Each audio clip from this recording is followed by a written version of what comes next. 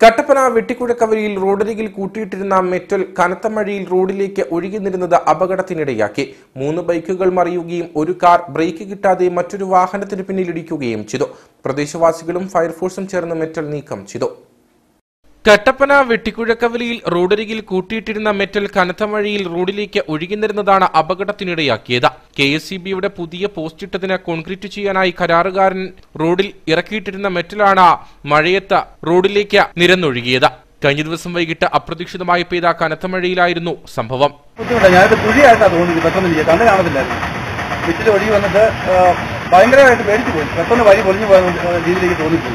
മഴവെള്ളം വന്നിട്ട് ഭയങ്കര മിറ്റിൽ ഒഴുകി കിടക്കാം ടൈലിറക്കിയേക്കാൻ മിറ്റിൽ ഈ സമയം ഇതുവഴി കടന്നുപോയ മൂന്ന് ബൈക്കുകൾ തെന്നിമറിയുകയും മറ്റൊരു കാറിന് ബ്രേക്ക് കിട്ടാതെ വന്നതോടെ മറ്റൊരു വാഹനത്തിന്റെ പിന്നിൽ ഇടിക്കുകയും ചെയ്തു. അപകടത്തിൽ ആർക്കും പരിക്കില്ല.